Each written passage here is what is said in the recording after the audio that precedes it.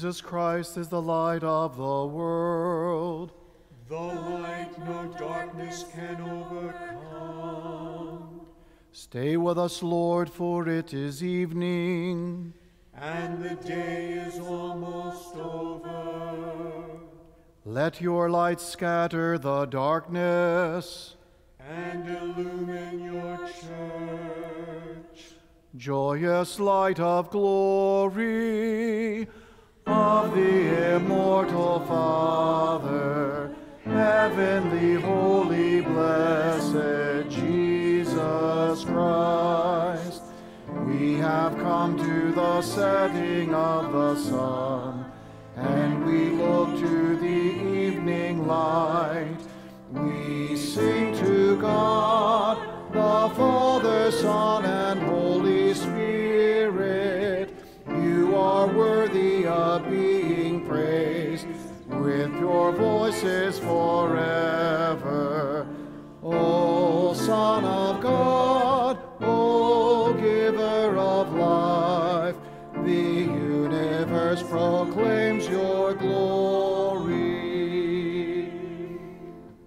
The Lord be with you. And also with you. Let us give thanks to the Lord our God.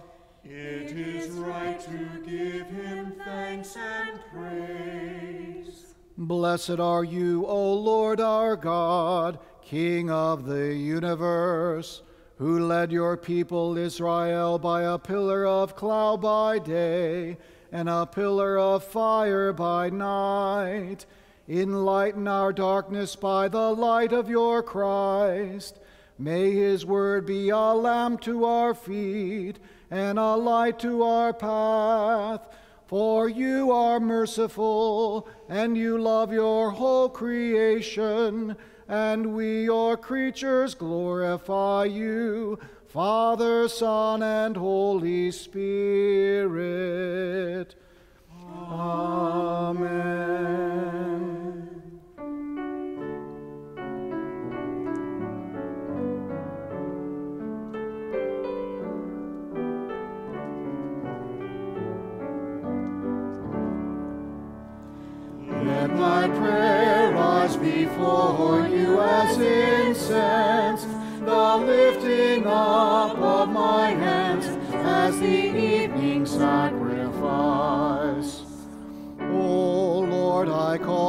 You, come to me quickly. Hear my voice when I cry to you. Let my prayer rise before you as incense, the lifting up of my hands as the evening sacrifice. Set a watch before my mouth, O Lord, and guard the door of my lips. Let not my heart incline to any evil thing. Let me not be occupied in wickedness with evil doers. But my eyes are turned to you, Lord God. In you I take refuge. Strip me not of my life. Glory to the Father and to the Son and to the Holy Spirit. As it was in the beginning, is now, and will be forever. Amen. Let my prayer rise before you as incense, the lifting up of my hands as the evening sacrifice.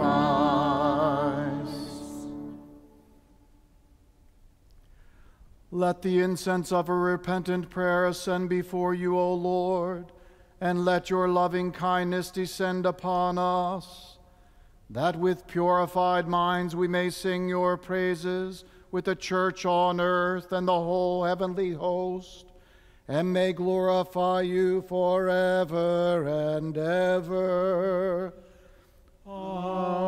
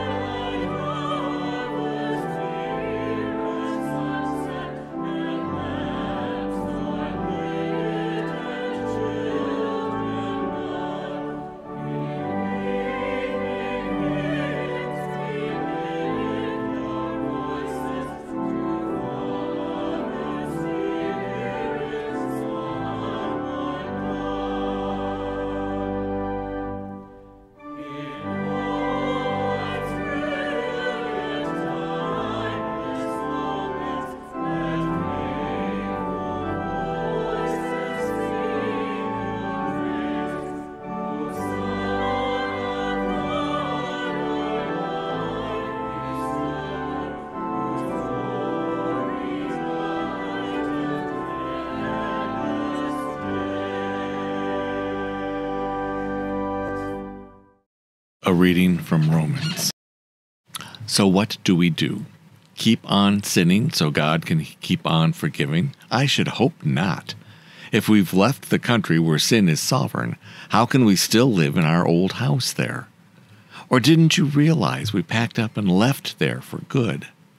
That is what happened in baptism. When we went under the water, we left the old country of sin behind. When we came up out of the water, we entered into the new country of grace, a new life in a new land. That's what baptism into the life of Jesus means. When we are lowered into the water, it is like the burial of Jesus. When we are raised up out of the water, it is like the resurrection of Jesus. Each of us is raised into a light filled world by our Father so that we can see where we're going in our new grace sovereign country. Could it be any clearer? Our old way of life was nailed to the cross with Christ, a decisive end to that sin miserable life. No longer at sin's every beck and call. What we believe is this if we get included in Christ's sin conquering death, we also get included in his life saving resurrection. We know that when Jesus was raised from the dead, it was a signal of the end of death as the end. Never again will death have the last word. When Jesus died, he took sin down with him. But alive, he brings God down to us. From now on, Think of it in this way Sin speaks a dead language that means nothing to you. God speaks your mother tongue, and you hang on every word. You are dead to sin and alive to God. That's what Jesus did.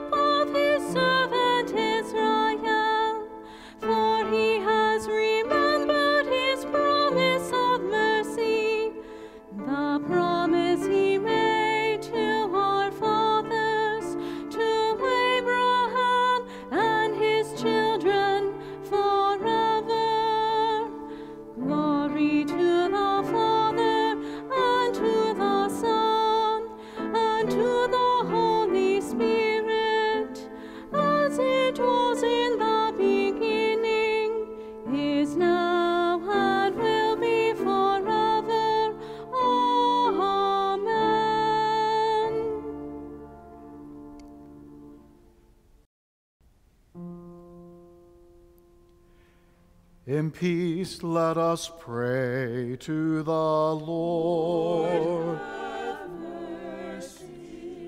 For the peace from above and for our salvation, let us pray to the Lord. For the peace of the whole world, for the well being of the church in Christ, for the unity of all, let us pray to the Lord. For this holy house and for all who offer here their worship and praise, let us pray to the Lord. For our bishops, pastors, and deacons in Christ, for all servants of the church, and for all the people, let us pray to the Lord. For our public servants, for the government and those who protect us, that they may be upheld and strengthened in every good deed, let us pray to the Lord. For those who work to bring peace, justice, health, and protection in this and every place, let us pray to the Lord. For those who bring offerings, those who do good works in this congregation, those who toil, those who sing, and all the people here present who await from the Lord great and abundant mercy, let us pray to the Lord. For favorable weather, for an abundance of the fruits of the earth, and for peaceful times, let us pray to the Lord. For our deliverance from all affliction, wrath, danger, and need, let us pray to the Lord. For the faithful who have gone before us and at rest, let us pray to the Lord. Help, save, comfort, and defend us, gracious Lord.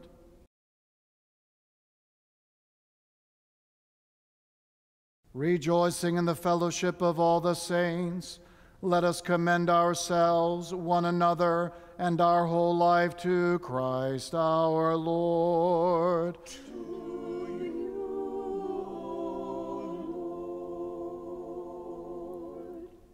O God, from whom come all holy desires, all good counsels, and all just works, give to us, your servants, that peace which the world cannot give, that our hearts may be set to obey your commandments, and also that we, being defended from the fear of our enemies, may live in peace and quietness through the merits of Jesus Christ, our Savior and Lord who lives and reigns with you and the Holy Spirit, God forever.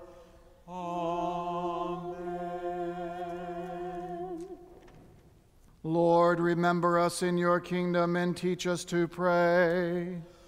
Our Father in heaven, hallowed be your name. Your kingdom come, your will be done, on earth as in heaven. Give us today our daily bread. Forgive us our sins as we forgive those who sin against us. From the time of trial and deliver us from evil.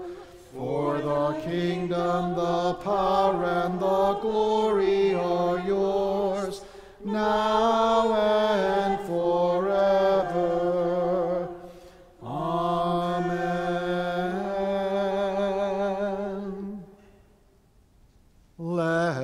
us bless the Lord. Thanks be to God. The Almighty and merciful Lord, the Father, the Son, and the Holy Spirit, bless and preserve us. Amen.